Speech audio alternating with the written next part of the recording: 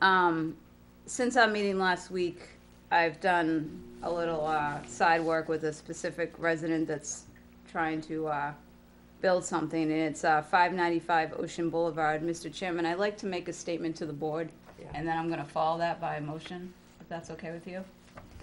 Um, the residents of North Beach area, whom I spoke with, seem to be in agreement that Mr. Flynn's project at five ninety-five Ocean is long overdue. As a selectman for the local taxpayer, I am in agreement. Currently, the land owned by Conservation Commission is vacant, neglected, and non-taxable. The law, as discussed last week, does not allow the town to sell or lease land owned by Conservation. Clearly, the selectmen have no authority here. Last week, the board was concerned with additional fill added to the wetlands. If Mr. Flynn is allowed use of the conservation-owned parcel for entrance to his on-site parking, which would be underneath the building he would put up, he will donate the unbuildable portion of five ninety-seven Ocean directly north of the property to the Conservation Commission, removing the existing fill and simply transferring the existing fill to five ninety-five Ocean as needed. It's a larger space at five ninety-seven, so the fill he removes, he wouldn't need as much of it to put in that one strip of land that is conservation that he just wants to drive on to get into his parking. Mr. Flynn, um, also, since last week, Mr. Flynn has set up a meeting with the town's building inspector, Kevin Schultz, which will take place next Wednesday, I believe. He has also hired and contracted with Ambit Engineering of Portsmouth for the site work and to file all local and state permits as are necessary deemed by the town and the Conservation Commission. Um, Mr. Flynn's project will be an asset to both the residents of North Beach and the community as a whole. So I would move to make the motion that the Board of Selectmen allow Mr. Flynn to use conservation-owned land to access his five ninety-five on-site parking.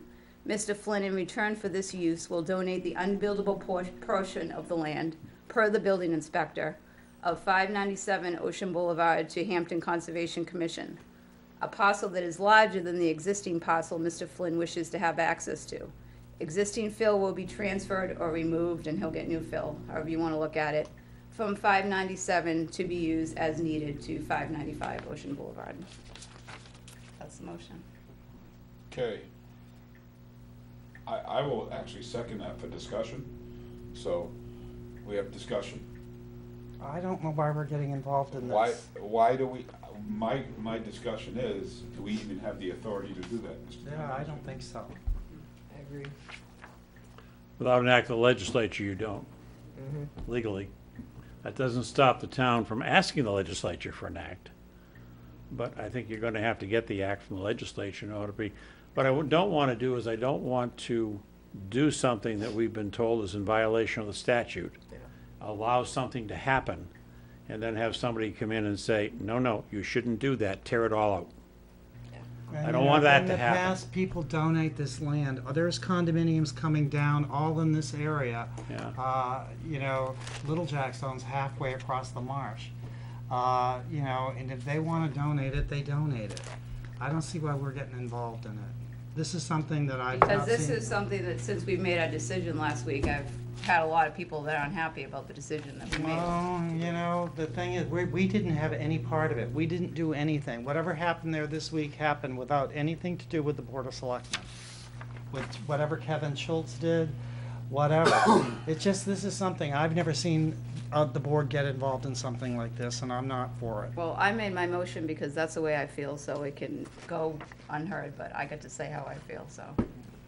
Well, I think, you know, and that's why I brought it up for discussion, because I want to hear the discussion on this, I want to hear what people have to say. Mary Louise, you? I'm not going to counter conservation's authority. I agree with the conserva, uh, not gonna count on conservation. And no one's against it, but you know what, if, we- you know, I'm not against, uh, Mr. Flynn's rights. But, uh, you know, if we're gonna start this conversation, then I would like to make a motion about, uh, what happened to Norm Bollier down at the Kentville this week. You know, so we could do this every time that there's a issue that comes up. You know, there was a, I uh don't know very. what con- issue you're Well, it was a very to. controversial issue that his, uh, uh, uh, condo project was voted down when he has buildings that are higher on each side of him. Um, and I'm not, I I understand how it works, it's the process. But a lot of people don't think that's fair. A lot of people aren't happy with a lot of what's going on. Um, and I don't see how we can get involved with it. They'll, these different boards, uh, whether it's the Conservation Commission, whether it's the Planning Board, whether it's the board, uh, zoning board, To call that land conservation land, I'll tell you right now, is comical, if you go down and look Yeah. at it. It's comical. well, And it's sitting there untaxable when it could actually be used for something that will benefit the community. Well, that's, uh, it, like Mr. uh, Walsh says, that's what the law is, and we can't just be changing it ourselves. You know, and the Well, we law, did before. the law, the law has changed a lot since It wasn't in the Conservation Commission then. before. It wasn't in conservation, and the law has changed a lot. That whole since- area's gonna Since flood. that area, since that was changed, you know, and Mr. Flynn brought up the fact that some of that area, area on both sides of him was filled. Some of that was filled in the nineteen fifties. Some of it was filled in the early eighties. You're talking thirty years ago where our laws have changed, and that, that's the problem Mr. Flynn has right now. Um, It was you know, if different. it was I made, 20 I'm the one that made the motion to do it before. It wasn't owned by the Conservation Commission then, when, uh, when we rented it to Lupo's. so. It became, became part of the Conservation Commission when it was taken for lack of taxes, I believe. I believe that was, that That was. whole area's gonna flood. Nah, Well- that's beside the point, and that's not necessarily true either. Uh, and we could go on and on and on. We could say by people putting condominiums are making it worse. But, you know, that we can't get involved in everything. Right. I, I just think the, the proper way to do this is to, we actually have to go to the, to the legislature and a- ask them. I think that's, There's a remedy. there, there is a remedy, and I think that's the proper way to do that.